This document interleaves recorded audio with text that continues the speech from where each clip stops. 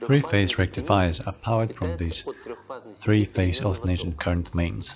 The system includes a three-phase transformer. VD1 diode switches on within the interval T1, T2. Phase A powers the load resistance. At T2 moment, diode switch. VD1 diode closes while VD2 diode opens. VD2 diode switches on within the interval T2, T3. Phase B powers the load resistance. At T3 moment, diode switches. VD2 diode closes while VD3 diode opens. VD3 diode switches on within the interval T3, T4. Phase C powers the load resistance. Summed current flowing through the load resistance equals to the sum of current of individual phases.